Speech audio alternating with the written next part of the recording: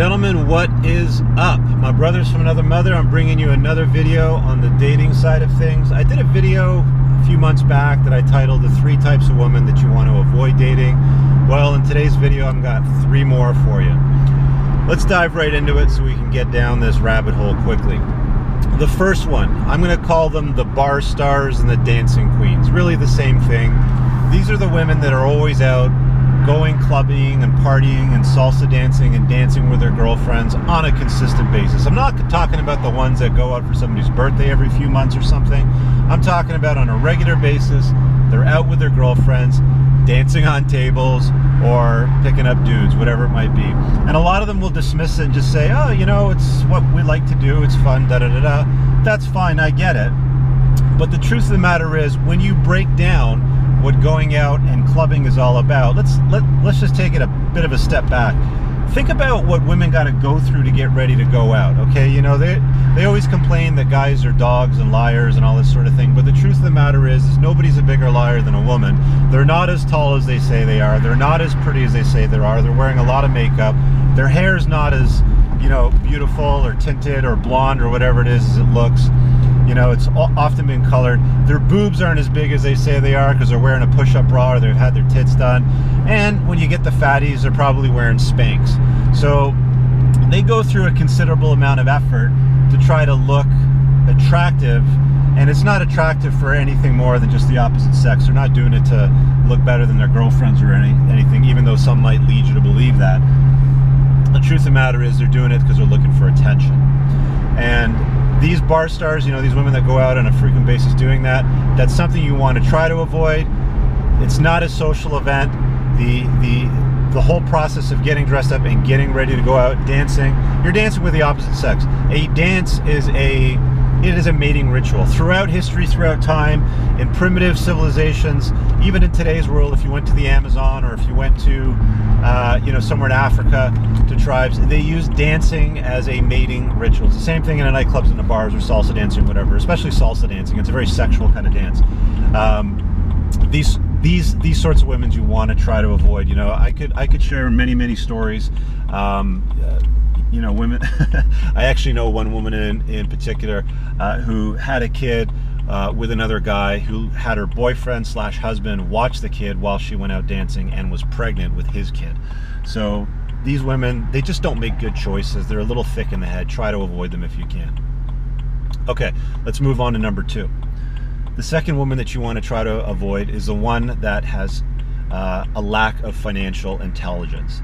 They just haven't got their money sorted out straight. They're constantly in debt. Bill collectors are calling them. Uh, they, you know, they never have cash for anything. You're always paying for it all. They can never pick up the tab. They're just financially destitute. You know, I know that some guys will trade looks for financial status uh, you know, especially older guys that have themselves established and they have money, they don't mind trading that for a younger, uh, prettier girl. That's fine if that's, you know, if that's what you want to do. I get it. You know, no problem. Um, but if you're around the same age group and you're dating, you want to stay away from these women that are broke as a joke. Okay, you don't need to baby them. You don't need to to, to uh, uh, protect them. You certainly don't need to rescue them. They're a grown ass adult. Let them act like a grown ass adult. If you're finding yourself buying them clothes, paying their bills, paying their rent, you're a chump. I'm just going to call it like it is. I call a spade a spade and I point to the facts. You're a chump. Stop doing that. Don't wait. Don't date women like that. Okay. And the third woman that I'm going to recommend that you stay away from are the jealous types. They are a nightmare, an absolute nightmare. I remember in my 20s, I was I was living with this girl. I was dating her for a while, and she was.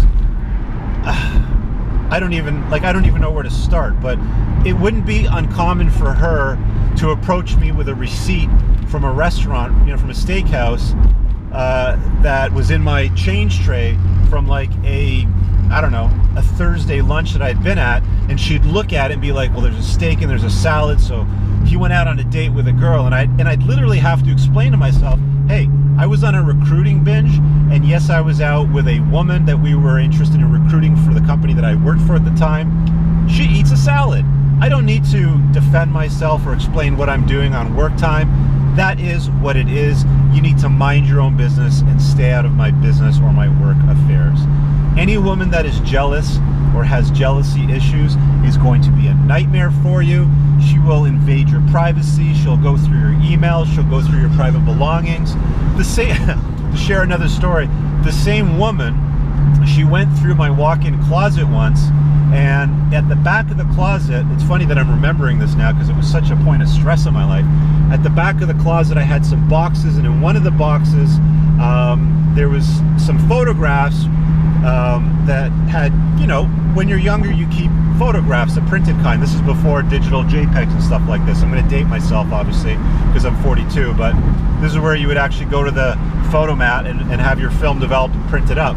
And she found photographs uh, which included some from an ex-girlfriend. And I remember she goes, "Oh, I found your shrine from you know Kelly, I think was her name at the time that I was dating before her," and I was just like, "Man, these women are energy vampires. They will suck you dry of your energy and your dignity, always having to explain to her. You know, if she found a hair in my car that wasn't, you know, she was a brunette and she found a blonde hair in my car. Again, I don't need to explain myself. I work with people, and sometimes women get in my car when we have to go places, to a meeting or to lunch, or if we're entertaining a client or something like that. It's the nature of being employed and having to interact with people socially. These these these these jealous types want you to be a hermit and live under the control of their thumb. Avoid them at all costs.